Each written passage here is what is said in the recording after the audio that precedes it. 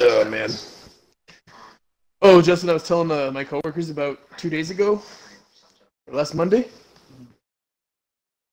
when uh, so Justin was being all gay and shit, and he came home and stripped down to his his Under Armour, and I ran it behind him while I was in my underwear, and I swung slung my cock and balls and slapped him in the ass. And- what? Yeah.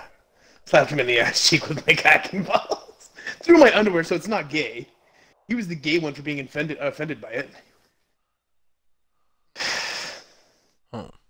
Come on, you guys you guys weren't in college? The old the old college uh I can't think of that word. The old college try. Heads up, responders. The food processing machines at Mama Dolce's have finally cooled down enough to work again.